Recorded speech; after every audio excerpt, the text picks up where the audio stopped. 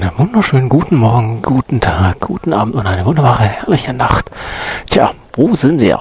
Hm, das sieht irgendwie nach einem Stuttgarter Marktplatz aus. Hm, nein. Aber jetzt erstmal ab ins Video. Heute geht es um die Frage, ja, Oversized Equipment. Ja, hm, was ist denn das? Naja, ist eigentlich ganz einfach.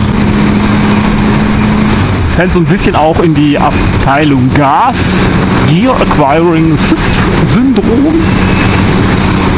Und ja, machen wir doch mal ein Beispiel. Ja, das ist so, man kauft sich ein Motorrad, zum Beispiel der Triumph Speed Triple und fährt damit äh, in der Innenstadt 50. Oder fährt über die Landstraße und fährt ja mit ähm, knapp 100, wo andere Leute 120 fahren. Oder man fährt wie vorher geschehen durch eine Kurve ganz gemütlich auf der rechten Seite und wird rechts überholt, äh, links überholt von einer, ich glaube Aprilia war es, ja. Ähm, ja, sprich, also man kauft sich Sachen, die mehr können, als man selber eigentlich braucht. Ganz klar, äh, das machen wahrscheinlich alle Leute irgendwann mal.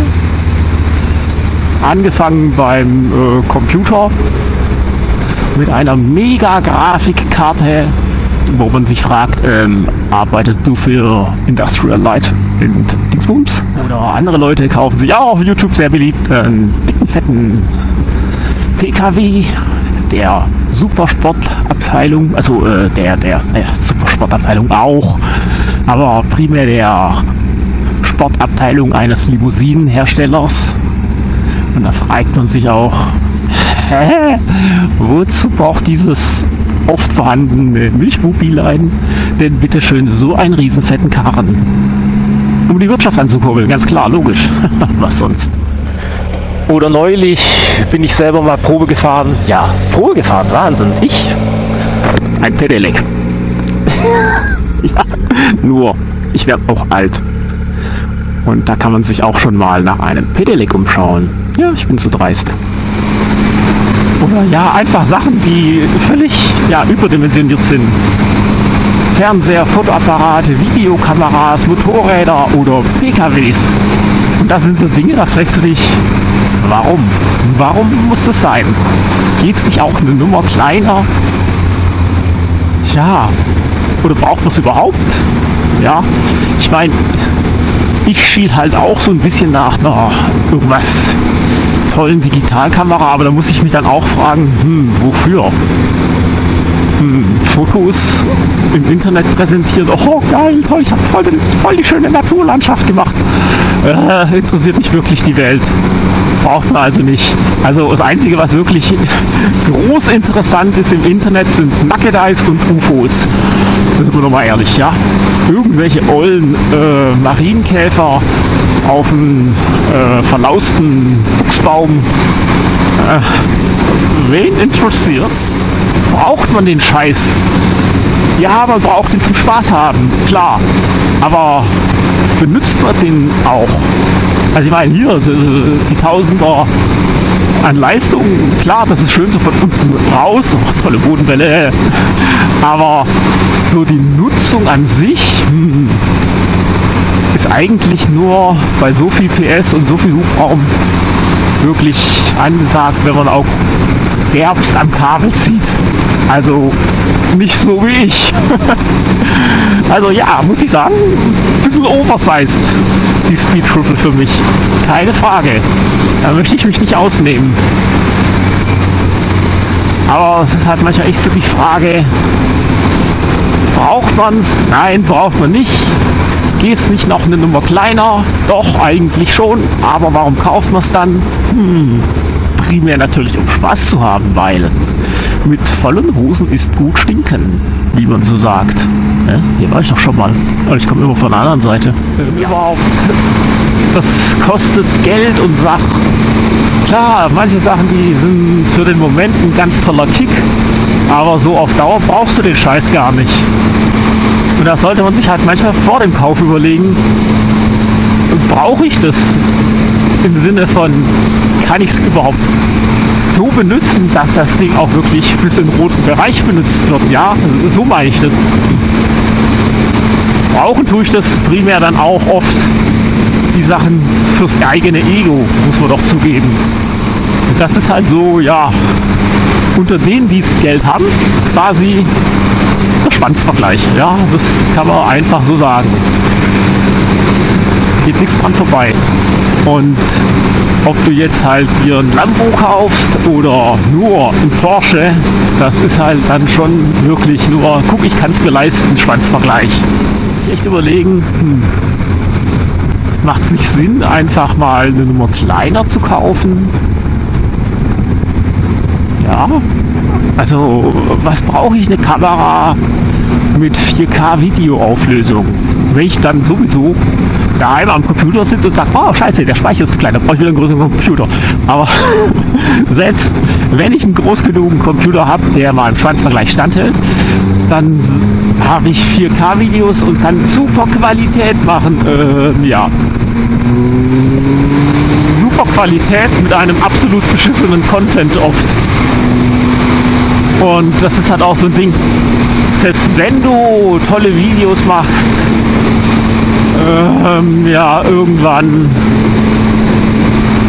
ist ja die Luft raus. Selbst wenn du dir einen großen, dicken, fetten Lambo kaufst, ja toll, du fährst doch nicht ständig auf die Rennstrecke, wofür ein Lambo ja gar nicht geeignet ist. Und das sind so Sachen, ja, oder ich ja, hätte mir auch eine S1000R kaufen können. Ja, nett, schön, toll, aber ich glaube, ich hätte da ständig einen Angststreifen in der Hose. Und so ist halt dann auch die Frage, nachdem man sich entschlossen hat, ja, man braucht es, bleibt trotzdem die Frage, kann man es denn auch wirklich gebrauchen in dieser ausufernden äh, Potenz von Technik? Und die Frage ist halt oft auch, äh, nein, ich kann gar nicht und ich will und ich brauche es gar nicht. Braucht man es? Ja, man braucht es, aber nicht aus Notwendigkeit der technischen Fähigkeit oder der, des technischen Anspruchs. Nein, man braucht es, um sein Ego zu befriedigen. Man braucht es, damit man sagen kann, ja, ich habe die Hosen voll. Ja, ich brauche eine Tausender-Maschine, damit ich sagen kann, ja, ich habe eine Tausender-Maschine. Yeah, ich bin cool. Ich habe sogar eine 1050er. ich bin noch cooler. oh Mann. Auch wenn ich langsamer fahre, bin ich trotzdem cooler als ihr. Und das ist so ein Teil, ja, da fragt man sich, Nee, eigentlich brauche ich es nicht, aber es macht Spaß. Warum habe ich eine Schwabenlederkombi? Weil sie sicher ist. Aber die Zacken an der Seite habe ich dran, damit ich damit ich das Ego befriedigt habe, ja. Und auch der Performance-Schriftzug ist nicht normalerweise bei dem Modell in der Größe dran. Also es ist wirklich viele Sachen, die würden auch ohne dieses äh, ja, Tüpfelchen auf dem i obendrauf funktionieren. Man braucht nicht immer ja, den Kuckhand und die Sahne und die Waffel oben auf dem Eis. Man kann auch stinknormales Wassereis schlotzen. Und das ist, ja, so sagt, da fragst du dich, wozu? Nur für mich. Nur für mich alleine. Und auch ein bisschen zum Angeben. Solange man keine anderen Leute damit behelligt, und man es selbst auf die Reihe bekommt, ganz wichtig, dann ist die Sache eigentlich doch, ja, gar kein Ding zur Beanstandung. Man kann sich den Sach kaufen, ja, darf man sicher auch. Solange nichts anderes kaputt geht dabei großartig, ja, stürzt doch keinen. Also von dem her, ja, ein bisschen Luxus darf schon sein.